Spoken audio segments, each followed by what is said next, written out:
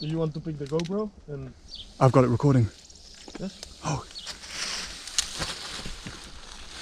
Holy flip! This is a YouTube video, can't swear. Oh my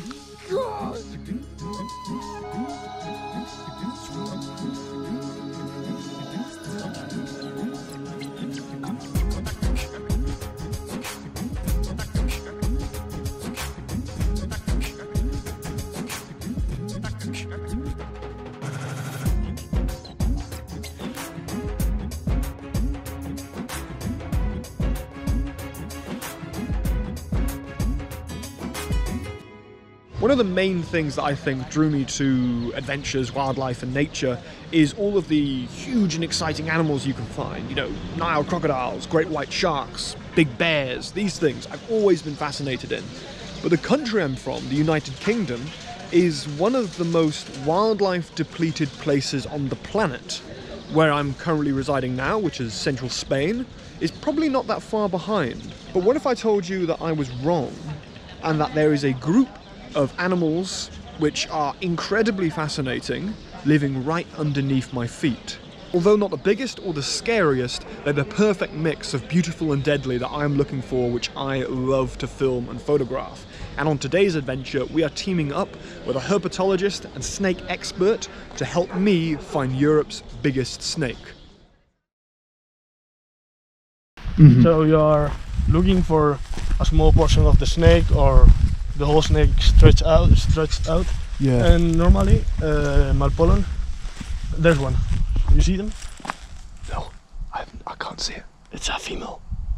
I think I see it. You see it? I think so. Okay, let's try to grab it. It's a big think with a capital T. Whoa! I did not see it. I was looking Okay, at something a, else. it's a small male. And what? Snakes, if you and if you handle them uh, like uh, well Yeah. and not with uh, rough movements and so, they usually don't bite. Ladies and gents, meet Max. He is a professional herpetologist, meaning the study of reptiles and amphibians, and he has agreed to help me find my snake. It's a it- it's a small male. Yeah. You- when they are so small, it's a, a subadult male. Uh-huh. You can tell them apart easily uh, because of the supra supralabial uh, scales. Yeah. Females, if you can see them, uh, it has like some white spots. Uh-huh. And females have a, a black circle around that white spot, and males don't have. After enjoying this guy's company for a little while, we released him, unharmed and back exactly where we found him.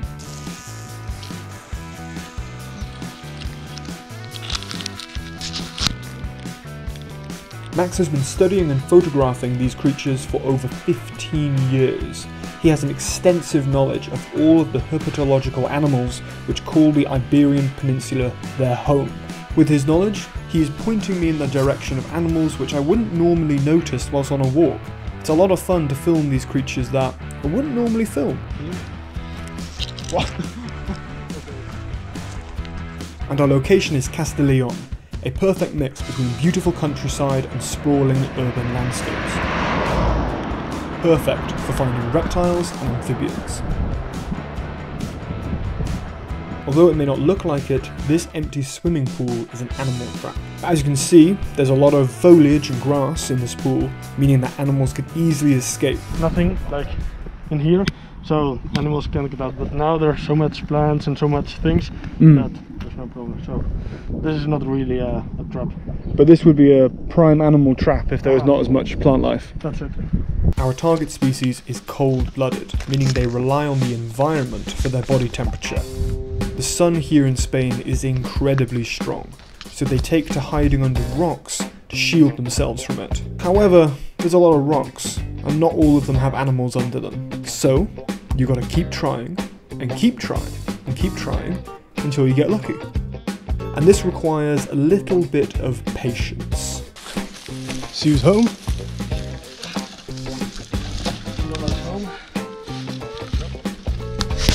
One day, we'll get these things. One day we'll have a go. I believe in us. I think we've got this. When flipping rocks, it's incredibly important to put them back exactly how you found them in order to protect and conserve the micro ecosystems which develop underneath them. What have we got here? Here we have got a, a smooth snake, Coronella girondica. It's the southern smooth snake, I think, and it's a juvenile, uh, a juvenile subadult. They, they, this species doesn't get too big, like maybe 60, 70 centimeters at most. Yeah. Uh, it's a, re- a really secretive species. Always, they are mainly nocturnal. yeah. They eat uh, lizards, geckos. They are in Spanish you call it saurophagas. It's like they really like to to eat cold-blooded animals like Yeah. lizards or or even vipers. They can Ooh. eat. Oh. It doesn't like it because it's like a small snake, but Yeah. they can eat vipers. It's it's Yeah. really interesting. And yes, they get about 60, 70 centimeters. They are mainly nocturnal and they are harmless. They Yeah. have no no venom, n- Uh. no venom. So they are harmless, and yeah, that's it. This, the small snake. I never thought I'd say that the snake was cute, but this smooth snake is adorable. But I want someone who's a bit bigger. I want one of his friends to show up. And luckily for me, there's one just around the corner.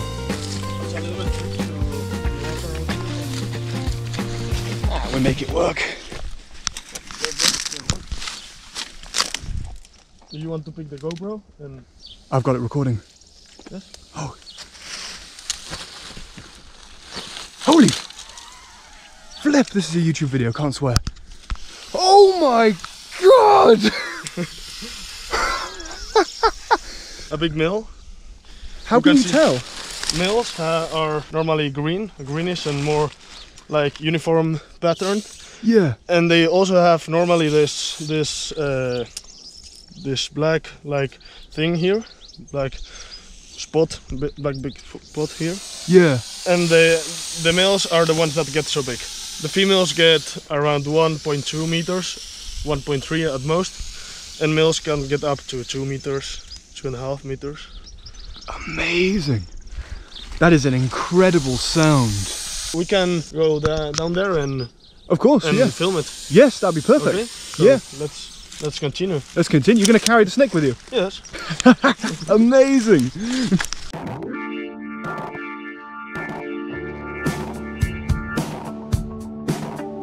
Approximately almost 5 foot long, thick, full of muscle, this was the beautiful monster snake that I was hoping to find.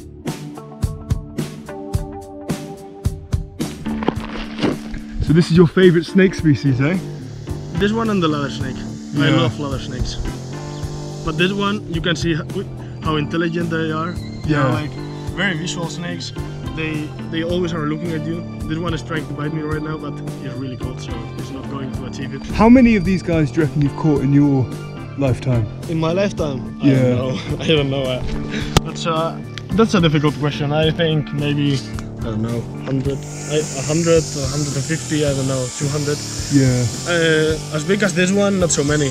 Yeah. Um, maybe 30 or so. But Montpellier snakes in general, like a lot of them. It's the most common snake around here, so. yeah. Man, such a beautiful animal. Absolutely stunning. I want a formal introduction to this animal.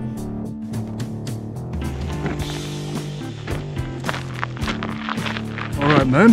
What have we got here? So here we have a, a Montpellier snake, Malpolon monspessulanus in Latin. And yeah, it's a big male. You can see it is a big male because it has like really uniform pattern. Yeah. A big black dot like uh, there on the neck, like Uh huh. there. Yeah.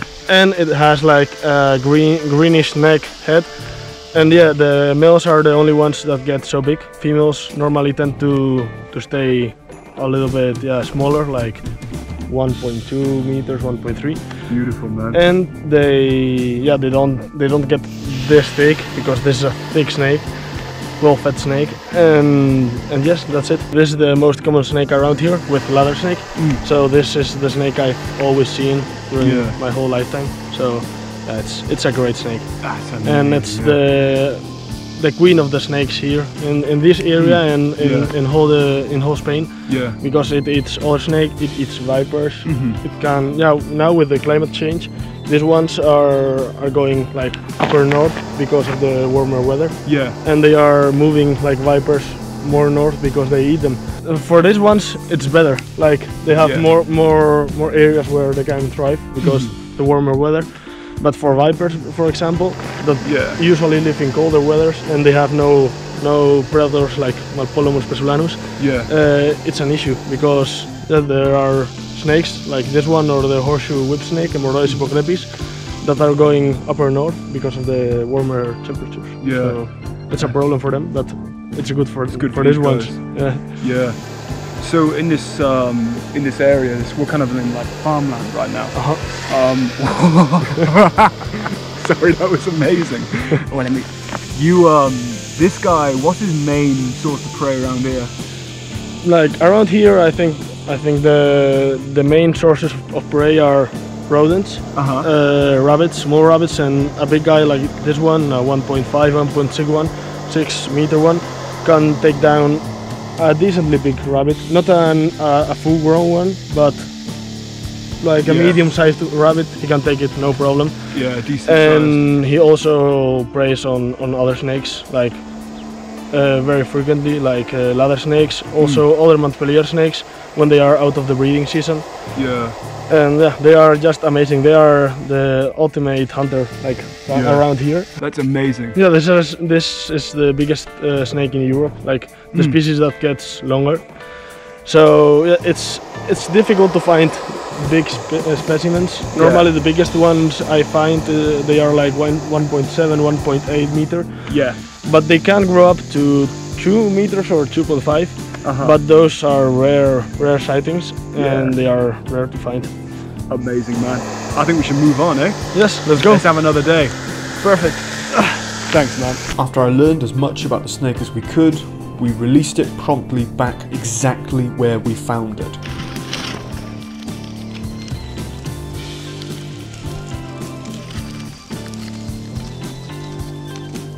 Awesome.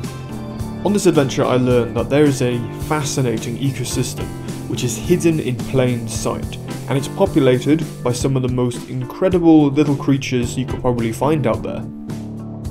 But for me, this adventure was all about the star. Snakes are criminally underrated animals. They have that perfect mix of beauty and slickness and potential deadliness, which makes other wildlife so incredible to look at and be around. Except the difference is that you can find a snake on almost every country on the planet. Next time you go for a hike, keep a close eye on your surroundings, because there is a high probability that you are sharing space with one of our planet's more underrated wonders. Thank you so much for watching this video. If you enjoyed it, please hit that like button, subscribe to that subscribe button, and ring the bell to stay notified when I next upload a video. And if you enjoyed this, maybe consider going outside yourself on your own adventure, and then watch more of my videos, which will be somewhere on the screen here. Thanks again for checking me out, I'll see you next time.